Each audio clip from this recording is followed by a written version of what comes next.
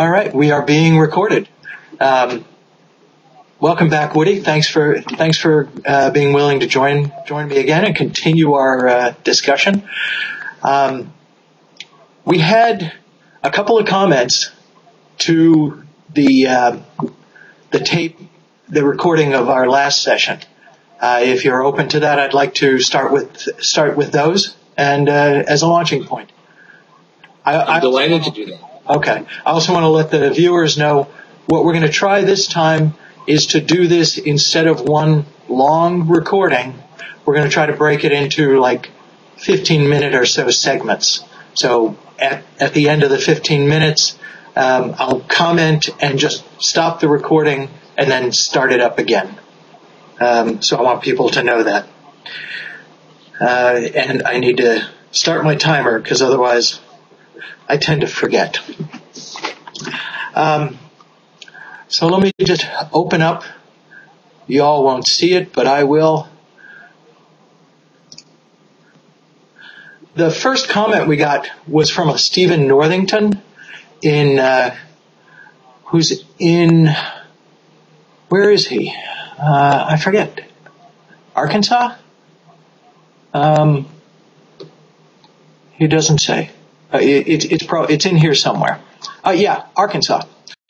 Um, so he he posts some very nice comments, and then talks about. I believe the biggest impact we can have to promote change in our state is to educate the public about alternative dispute resolution. Um, and in an interesting way, I believe this will be kind of like the Arab Spring, where the people will change the system long before our attorney profession will, or at least quicker anyway. Uh, he hopes to be a part of this and uh, feels like his firm can be. Uh, he's working with social media.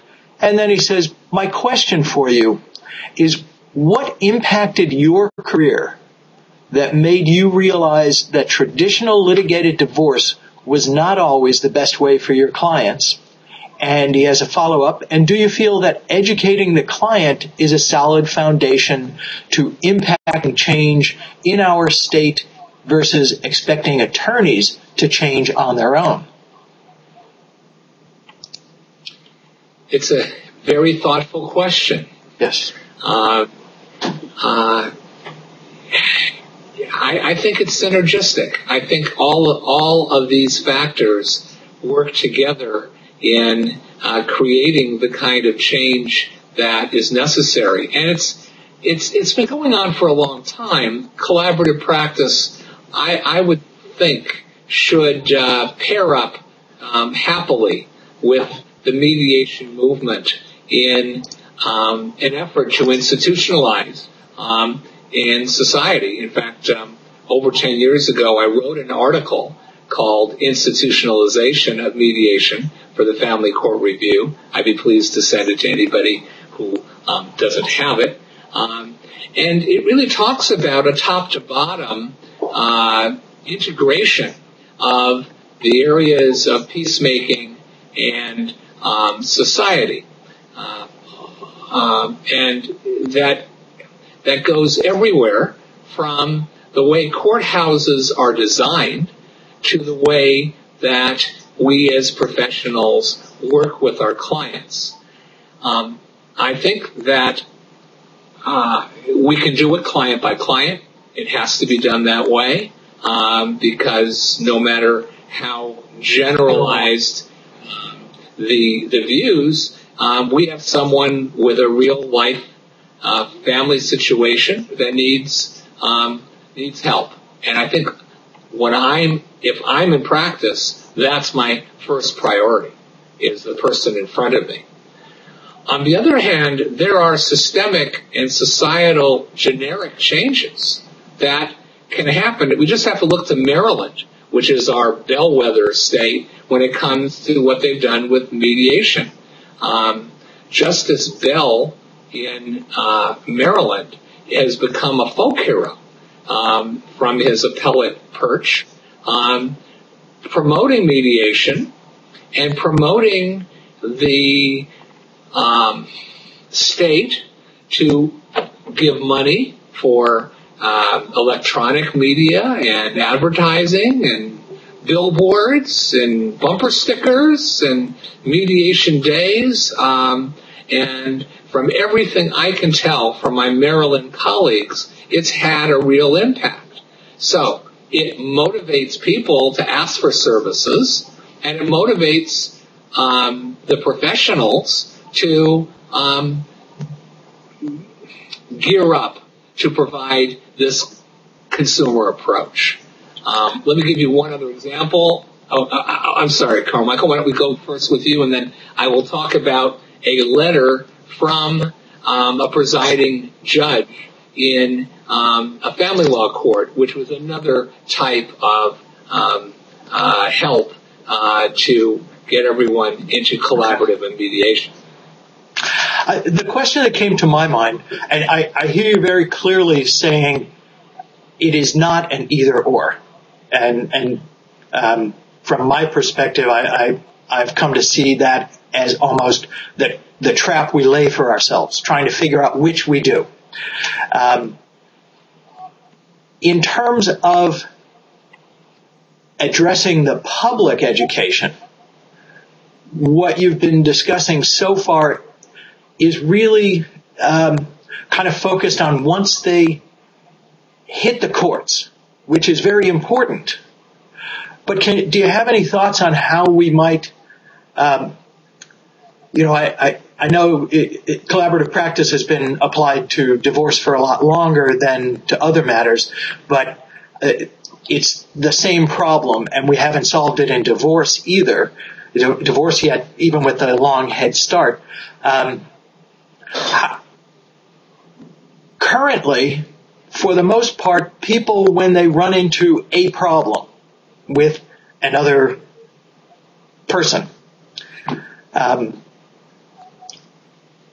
their first thought of recourse is to sue. Do you have any thoughts? Is it something we could address um, to get the public at large thinking first about how can we resolve this thing as opposed to how can we go to court over it? Well, I'll go back further. How do we prevent conflict in the first instance? Ah. How do we plan nice. our um, our human and legal affairs mm-hmm. so that we can maximize our uh, greatest goals and greatest desires and minimize the potential of it going wrong and devolving into a, into a conflict or dispute. Mm-hmm. Um, you're, you're, speaking my language, Carl Michael. I mean, um, uh, in my office, I mentioned a client library lab in our lab for a session.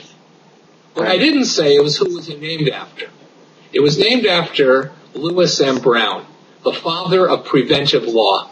Mm. He devoted 50 years plus in um, developing a field where the maxim was people shouldn't be in trouble if they don't have to be. And he developed it for companies that naturally try to manage risk.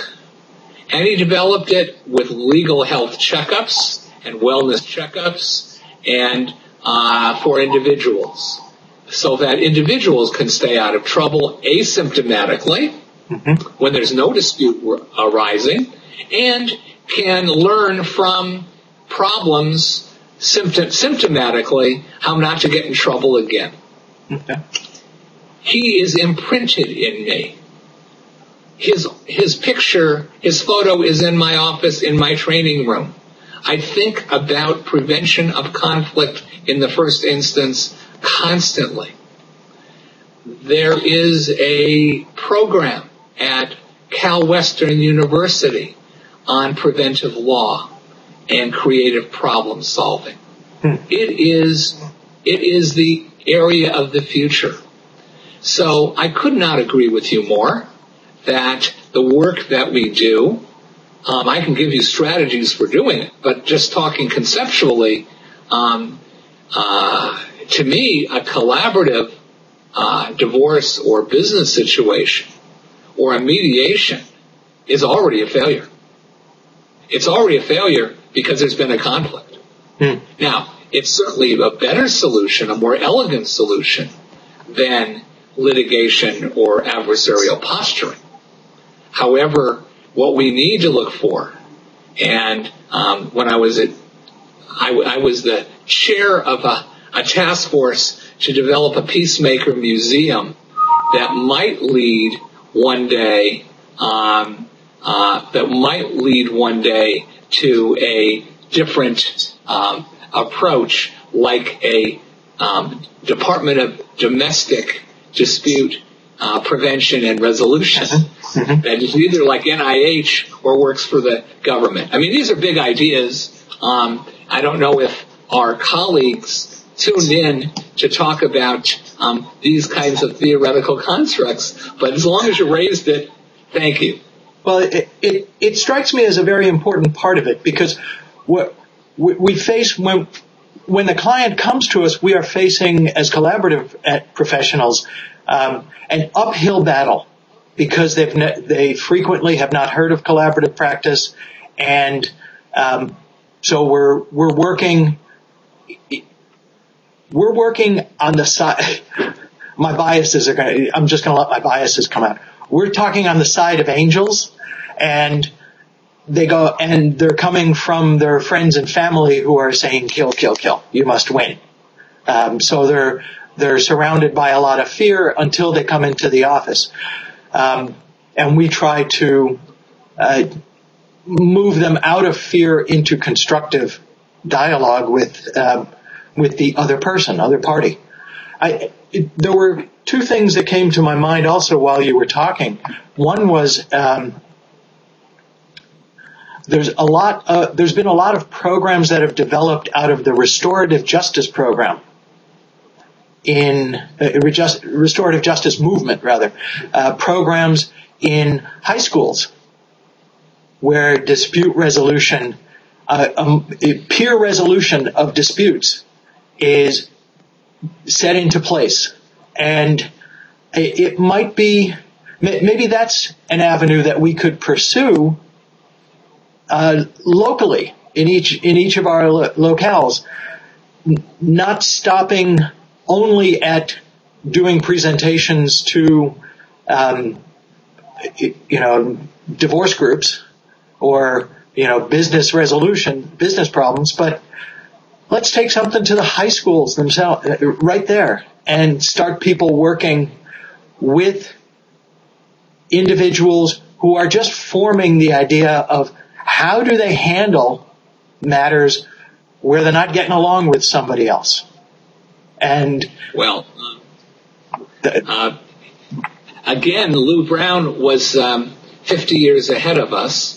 Okay. He established something called called the Blue Car Project for high schools, ah. and it was, it was a way for um, uh, teenagers to learn about to learn about um, the uh, legal aspects of a car.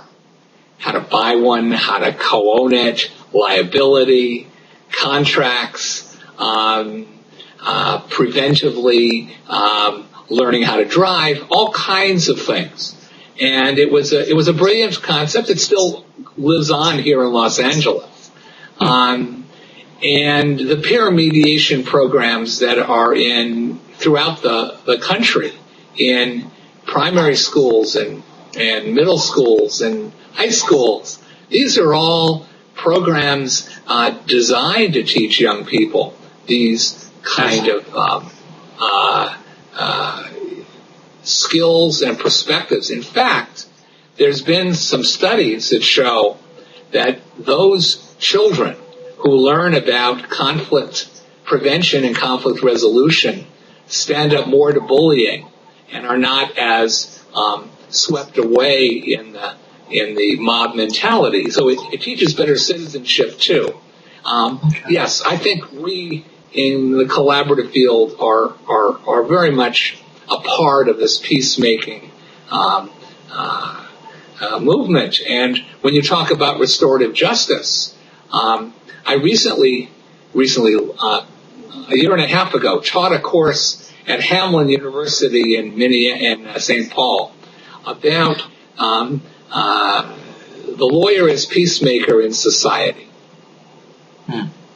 And in yeah. that um, in that uh, uh, course, we we looked at at models like the Truth and Reconciliation Commission um, and other aspects of restorative justice, and I've tried to apply them to civil disputes and um, and public policy. And in fact, um, in um, the master class that I teach with uh, Pauline, we we do talk about the role of apology and of um, of um, reconciliation. And you were there, you you know. Uh, and so it's it's part of I think the work that that we are um, all committed to. It's fascinating. We've got that, we've gone through 15 minutes. That's that, that it's blink of an eye. Um, before we before we break and and and come right back, um, I want to. Are you familiar with? Um, I don't know where it stands right now, but I, I, uh, you know, I'm acquainted with Marianne Williamson's work, and so I've um, kind of kept track of of her stuff, and through her work, um, become aware of. I think it's Dennis Kucinich, who has been spearheading a movement for a Department of Peace in the U.S. government. That um, that would be an interesting uh, thing to see evolve. Perhaps we could get behind that in some um, in, in some loose way. It would be wouldn't be a bad idea to have um, you know government support for the kind of efforts that we are that we are talking about here. Uh, there are institutions that, that support that, and I'll uh, be glad to talk about that more. I, I, I know you want okay. to sort of cut now. Yeah, so I'm just going to stop the recording and then start it right back up so that it comes as separate uh, trailers.